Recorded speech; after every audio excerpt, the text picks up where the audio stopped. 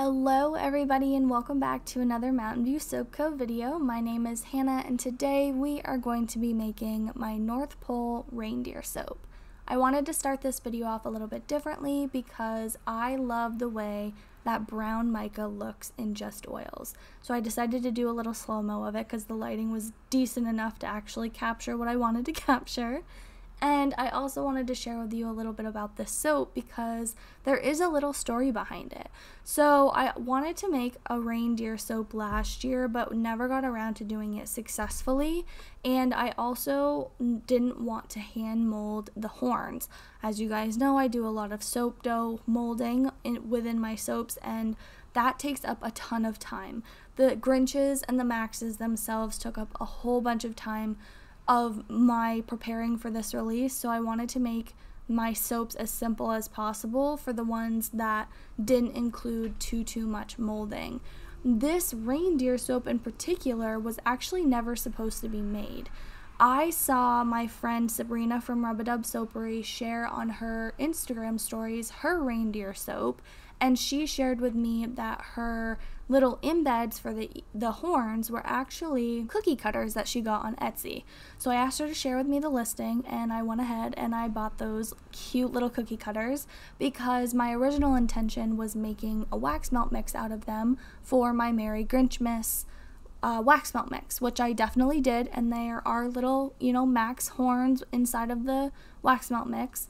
But when I saw them and they actually came in, I was so in love with them, I knew I had to make a soap. So that is where we are now. We are currently making that soap, which came into fruition, fruition and design wise came to me in a day. I wanted to make sure that I kept this super simple.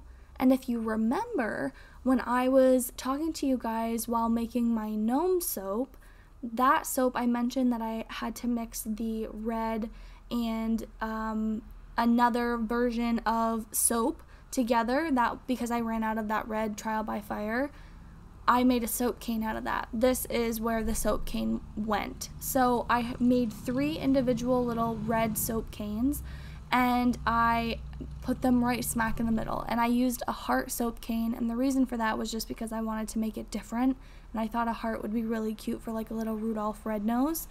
And the top is very simple as well. I'm using the what I like to call like whipped cream frosting type of a tip with a small bit of honey blush mica from Nurture Soap and then I have cute little the horns and then little ears that go with it and I really like the way that this turned out. Um, so far, everybody that's seen it has really enjoyed it as well, which is really, really exciting. So I'm really excited to show you guys and hear what you guys think about it. Like I said, it's super simple, but it's one of those soaps that I kind of just had to make, which it's really exciting to me that I had that opportunity to do that here.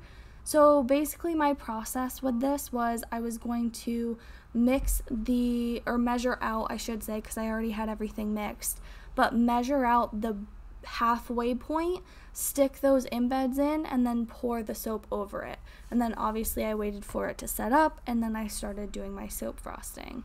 This soap in particular was one that I decided to not add glitter on, mainly because I have glitter on a lot of my other soaps, and I decided that it would look better without glitter, so I went sans glitter this time, and I'm really happy with the way that the soap dough actually firmed up. When I first cut them, I actually ended up breaking one of the horns off when I was putting them on the curing rack, so I just kept that bar for myself. But I was really worried about packaging them with shrink wrap and stuff like that, but turns out it they actually firmed up really really nicely and they're holding up super super well. I am shipping them with bubble wrap though just to make sure unless it's a box. If it's a box then I'm just putting a lot of uh, crinkle paper around it, but I'm trying really hard to make sure that it gets to you guys and gets to their uh, destinations correctly and not broken. So here are, is a look at what those soap canes are. They are super cute and the mold that I got was actually from my mom. She got it for me for Christmas last year and um, she actually got it for me early. It wasn't actually for Christmas, but she got it for me early as an early Christmas present, and I made my Grinch soap with it last year And last year, my Grinch soap looked nothing like the Grinch soap that I made this year. Last year, it was just a green soap base with a little heart. It wasn't frosted or anything crazy like that. It was very, very simple. So once I waited for it to set up a little bit, I really wanted to make sure there wasn't going to be any issues. One of the things that I noticed though, which you'll see when I cut it, is the bottom layer is very, very, very smooth. And I think the reason for that is because I actually stick blended that layer separately. And then as I went to pour the top layer, I didn't stick blend it because it had already thickened up quite a bit and I wanted to make sure the top was smooth. With that, there are some like little holes for where the bubbles were when I cut. So that was really interesting to me and an interesting find because, as you know, as I've been talking about on the channel recently, I've been trying to figure out what I did differently with the Grinch soap to make it a no bubble soap so that I can continue to do that in the future. Speaking of soap making and stuff like that, I have two things that I want to talk to you guys about before I let you go. So, the first thing that I wanted to talk to you guys about is I am going to be doing another version of Instagram Picks My Soap. I have grown considerably on Instagram and on YouTube since the last one that I did, so I really wanted to do something fun like that and give more people the opportunity to vote on the polls. So, if you aren't already following me over on Instagram, head over there because within the next week and a half, two weeks, I'm going to be posting those video um not those videos the poll for that. And i want to make sure that as many people have the opportunity to vote as possible. I'm going to try to do it a little bit differently than what i did last time so it's not just the same video over and over and over again. But i'm really excited because i'm hopefully either going to put a holiday spin on it or put some sort of different themed type of a spin. So it's exciting for everybody.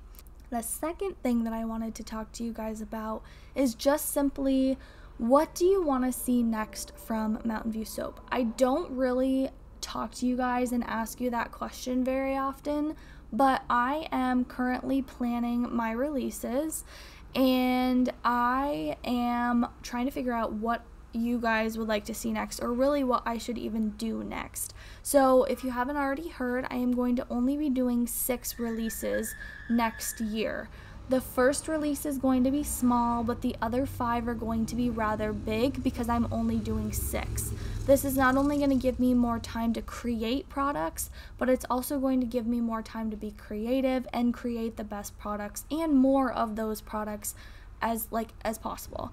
So for example, everybody interested in the Harry Potter soap, that Harry Potter soap is going to be coming back in May with my movies collection.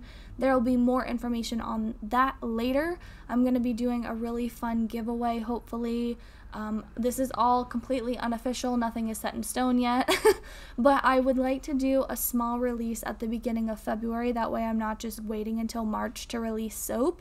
And I also need something to work on. So I wanted to know what you guys would like to see from Mountain View Soap next. So if you haven't already, head down to the description box. Let me know what you would like to see. If there's a specific theme, a specific soap, a specific scent, anything like that, let me know. And I would be happy to try and figure out a way to make that collection a thing. I do have ideas if you guys don't, you know, give me any suggestions or anything like that. But I wanted to open it up and see if you did have any ideas.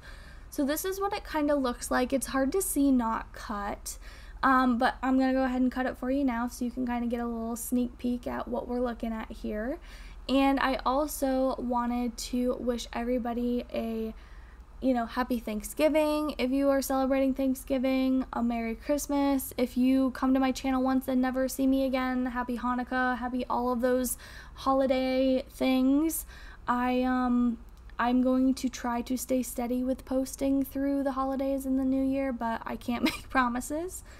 This is what that bar looks like on the inside, and as you can see, there is a difference in line between where I put the layers. I still think it's so cute though, and I'm obsessed. uh, my mom saw it, and when she came, she helped me package soap. She's like, This is such a cute soap. I want some. And I let her take a couple because she helped me pack almost 500 bars of soap in a single day. She is a serious trooper. So, shout out to my mom. Thank you for helping me. I love you very, very much. She has also been a huge supporter ever since I got started. Everybody in my family has been, um, but my mom specifically, she's helped me with the fall collection. She helped me with this collection as well, and I could not do what I do without her. So, little shout out to her. And of course, shout out to you guys because I wouldn't be where I am today without you. But that is going to do it for me today. I will be back Sunday to talk about that new layering technique that I showed in my Winter Wonderland video, which is the last video that I posted. I very rarely do tutorial type videos on my channel now. Typically what my soaping videos are are, hey, come chat with me as I you know, make some soap and kind of talk through what I'm doing. But I did have a couple people a little bit upset that I did not share like a more in-depth version of what the layering technique was. So I am going to kind of go through that in my peppermint patty video, which is going to go up on Sunday. If you have not already, I hope you have a wonderful, wonderful day, and I cannot wait to see you here this weekend. All right, bye.